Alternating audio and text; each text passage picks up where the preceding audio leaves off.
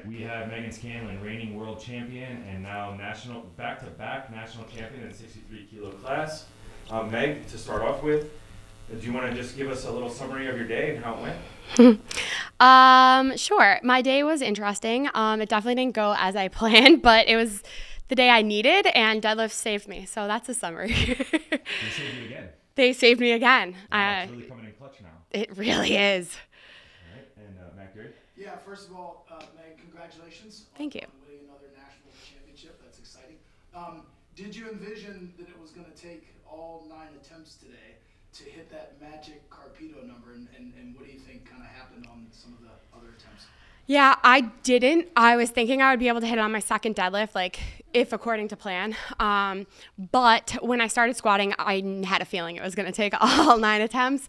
Um, I just didn't feel like as strong. You know what I mean? Like didn't feel like a strong day. So kind of after my first or- squat attempt, I probably had a good idea it was going to take nine. This is Bryce from CNN. Um, I'm wondering what your body weight was like leading into the prep, and if you felt like that was a factor. Sure. So I stay pretty close to 63, but I tend to like drop weight unintentionally when I get close to meet. So it's something I'm trying to get closer to 63 on weigh-ins. Um, better than world, still not great. Um, so that's kind of like my goal going forward is to get closer and closer to 63. This is Natalie from ESPN. I noticed that you had the you put in the American record on your third squat attempt Mm. after a pretty tough 190. Did you have any intention of coming out for 191.5? Were you kind of thinking about it in the back and basically playing that? Um, so after I took my 190, I knew I wasn't going to come out for my third. Um, but my husband put it in, um, knowing that like a chip would help. But I was Yeah. like, no. It- one and a half kilos isn't worth what I'm gonna have to do. I've done it before, so I know what it's like, and I just knew it wasn't gonna be worth it. Um, I know going into this, obviously the bench rules changed. Um, how how much did that affect your bench in this prep and what you ended up taking today? So, I mean, my bench has changed significantly. I know if someone's never seen me bench before, they probably still think I have a huge arch. Um, but I've changed like how much I arch, where I'm putting my feet, my grip width, and like my actual grip on the bar. And then I flare my elbows a lot. So there's been a lot of factors that I've changed. I'm definitely still getting used to it. Um, it wasn't a great bench day either, similar to squats in comparison to my meet prep.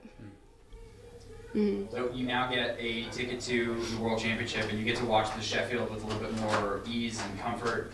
Are you going to be watching? Are you going to be watching some of your potential competitors and seeing their performances, or do you mainly just focus on yourself? I'll definitely watch Sheffield. I mean, I like watching the big meets. Um, as we get closer, like I definitely don't pay attention on Instagram, but I like watching the big meets. All right, so Meg, you're known as being a huge bencher, and that's kind of your big weapon. But lately, it's like your squat and your deadlift are really coming around. What's been happening, and how confident are you, you know, in your squat and your deadlift progression coming into worlds? I feel very confident about them. Um, I've I used to have a big squat and now it's coming back. Um, I've always kind of had a big bench, um, but it's really my deadlift, my getting back to where my squat was, and my deadlift progression. I think that's allowed me to be a lot more competitive the past year. And uh, one follow up to that is just like, how has it been working with Kelly Man? I mean, amazing. um, I've made a lot of progress, and I know that we still have a lot of progress to make, so it's exciting. All right, yes, it's very exciting. All right, any more questions? After a big competition like this, do you jump right back into training? Or are you taking a little time off? You know, how are you thinking about the transition from here to the World Championship? Um, I usually don't take that much time off just because I like training. um, but I'll ease back into it and then get back into a training block. All right. All right. Congratulations. Thank you. Congrats. Thanks, guys.